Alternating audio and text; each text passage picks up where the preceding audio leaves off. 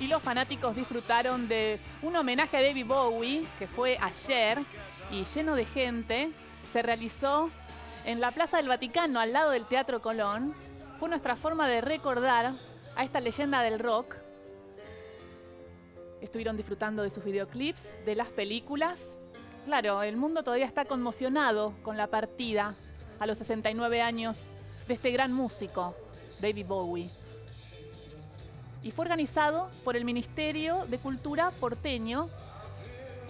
Y escuchamos lo que tenían para decirnos en ese día tan especial, donde fanáticos de todos los lugares se acercaron al centro de la ciudad de Buenos Aires.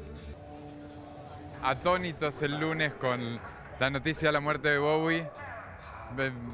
Yo hice una declaración donde decía que Bowie era para el siglo XX lo que Mozart había sido para el siglo XVIII, como un gran innovador, alguien que había cambiado mucho la música y es, en el medio de esas reuniones con los colaboradores dijimos, ¿por qué no hacemos una maratón? ¿Por qué no hacemos una especie de homenaje? Porque fue un ícono eh, y nos gusta ver lo que tenía para, para ofrecer, es una pena. Cuando ves eh, las películas en las que trabajó o la música que compuso, la voz que tenía, ¿qué te genera David Bowie? Es increíble, es increíble.